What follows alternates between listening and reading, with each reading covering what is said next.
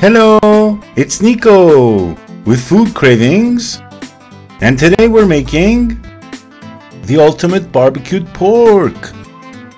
If you've watched my video recipe on how to make barbecue sauce or competition barbecue sauce, you already know where barbecue comes from. But I did some more digging, so let's talk pork. Pork butt, or Boston butt as it's commonly referred to, is the American name for a cut of pork that comes from the upper part of the shoulder, from the front leg, and may contain the blade bone. Boston butt is the most common cut used for pulled pork, a staple of barbecue in the southern United States. In pre-revolutionary New England, England and into the American Revolutionary War, New England butchers tended to take less prized cuts of pork like hams and shoulders and pack them into barrels for storage and transport known as the butt. It comes from the Latin word buttis, spelled B-U-T-T-I-S, meaning cask or barrel. This particular shoulder cut became known around the country as a Boston specialty and hence became known as the Boston butt. In the UK it is known as pork hand and spring or simply pork hand. In Latin American Spanish, the cut is known as paleta de puerco and is the main ingredient in the Mexican dish carnitas and in the Caribbean dishes lechon asado and pernil. In Mexican Spanish, this cut is also known as the espadilla or little back. In Argentina, this cut is incredibly popular and is known as bondiola. In Korea, the cut is known as moksal, literally neck meat. Now that we've had our brief brief history lesson, let's get started. To begin, what we'll do is start by bathing our pork with some vinegar, water, and lemon juice mixture. This is the part where we really want to clean the meat thoroughly and ensure that the gamey scent is removed. Naturally, I gave it a series of tosses and pats and twists and turns and flips throughout until everything was clean, at which point in time I dumped the liquid and rinsed it. Next, I began patting down the dry rub, which consisted of light and dark brown sugar, and I made sure to pack it all around evenly before flipping it over to do the same. Shortly thereafter, I started packing on the brown sugar until it was all evenly incorporated.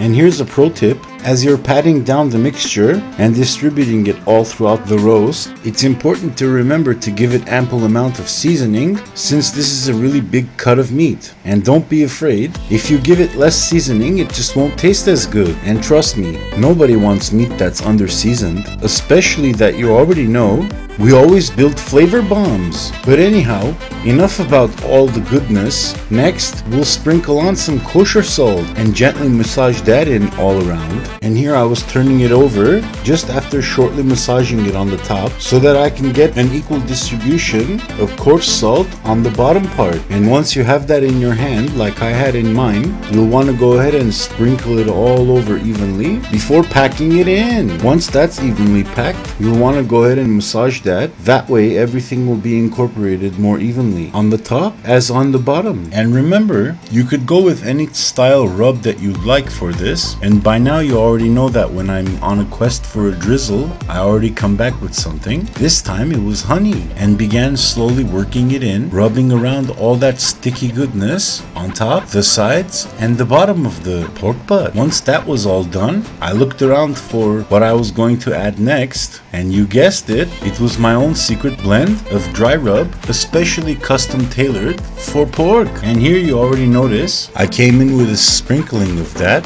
on top of the fat cap evenly throughout and I'll be sure to talk more about my spice blend on the blog post. But before I do that I gotta rub this in real quick and you'll want to experiment with different spices and herbs. That way you too can create your own custom dry rub for pork or any other delicious meat. But for classic southern style barbecue pork that's low and slow roasted goodness it's an entirely different story so now that we're done incorporating the dry rub mixture, I'm gonna go ahead and get ready to hit it with some dark soy sauce for some added color. Of course, we can't forget to massage that in evenly throughout. All the while turning it to make sure the underside is also coated. Once that's to our desired shade of brown, we'll leave it a minute to soak up the soy sauce before flipping it over and drizzling in light soy. After gently yet vigorously incorporating that throughout, I shook the excess soy sauce off my hands while realizing I needed something acidic to counterbalance all the sweetness. I dropped in the mustard before spreading that all around liberally. And for this I used a brown mustard, but you can use any kind of mustard you want. And here you'll notice I was taking the time to make sure that I incorporated the mustard all throughout even underneath the pork butt so that I left no crevice unturned until it was all evenly incorporated. Next, I placed that on an oven rack before placing it in a baking pan. But first, I took a bamboo skewer out and began poking through the fat cap, making sure not to poke through the meat. And what this will do is it'll bring this roast to a whole new level of dryness, making the skin extra crispy with all the fat rendered out through the newly created tiny pores. Before popping it in the center of a 250 degree oven for about 15 to 20 hours or until completely golden. And here you'll notice I've reached my goal of making what I call the best barbecue pork butt ever. I mean, look at it. All those layers from the shoulder are getting ready to pop off. And the fat is glistening. And the meat's juicy. And the bone's getting ready to come out. Oh my god. Well, you get the idea. By now, I'm sure you're also convinced that this is the best, if not the ultimate, barbecue pork recipe ever. I mean, this was barbecue of epic proportion. Slow roasted, which any pitmaster will tell you is the only way to go. And that's Chef Nicko style. And don't forget to like and subscribe.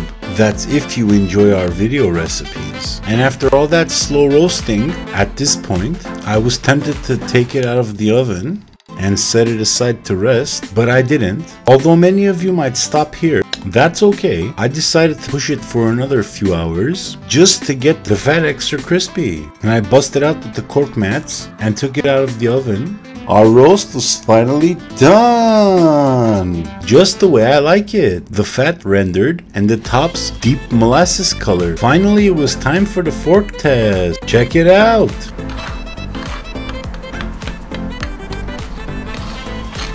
Next, I decided to go in for a taste. Did you really think I'd waste all that goodness? So I pulled the piece out and at first bite, the meat, moist, tender and juicy, imparted specific notes of caramelized brown sugar, spices, and that molassesy goodness you get from the dark soy. Just look at that pink smoke ring around it and the juices running clear. Yeah, so I went in for another taste. I mean, it was irresistible. I even got some burnt end bark. I mean, look how easily shredded this got. And the true test here is when you can pull the crispy skin back and see virtually all the fat melted away and all it's separating is between the meat and the skin. Doesn't that just look gorgeous? Here, let's take a closer look. I mean, surely there's no denying what a few long hours will do. It all turned a nice shade of mahogany. And I want to take some time to show you just how crunchy this was. See? And for my next trick, I'm going to show you just how tender this is.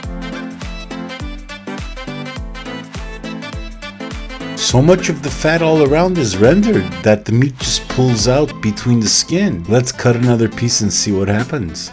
Man, it's gorgeous. And there are many applications for this cut of pork, if you're anything like me, slather some barbecue sauce over shredded portions of this for some pulled pork sandwiches. Speaking of which, I took out a fork, dumped some of the meat partially shredded into a bowl, and went to town. For this part I used my trusty fingers, the best tool in the kitchen, and began plucking away at each piece until I had enough shredded pork to fill a sandwich and I realized I had some of my barbecue sauce left over, so I took it, drizzled some in, and started giving that a mix. And no, I know what you're thinking. Those Wolverine claws from Amazon won't work. Having realized that, I just continued using my fork. Next, I busted out with my trusty magic roll You know which ones I'm talking about. The ones that have meat appearing on them magically, specifically pulled pork. And it was time for another drizzle of what I call the best barbecue sauce or competition barbecue sauce ever. By now, this delicious, juicy, smoky pulled pork sandwich was calling my name, so I went in for a taste. Moist, succulent, smoky, juicy, barbecuey, slow roasted goodness. And again, don't forget to like and subscribe. I hope you've enjoyed my recipe for the best barbecued pork ever. Whether you enjoy pulled pork sandwiches with my homemade barbecue sauce or carnitas tacos, for ingredient amounts and more info, please visit www.chefnicko.blogspot.com. Thank you, bon appetit, and enjoy.